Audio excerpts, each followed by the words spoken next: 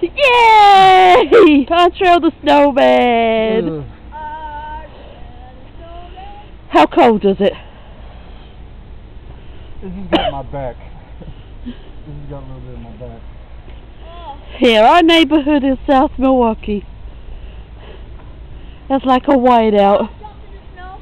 Go on, Robert said to jump in the snow.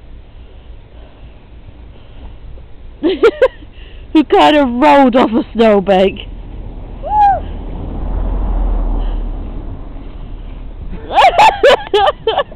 Yeah. Is that how we do it South Milwaukee style?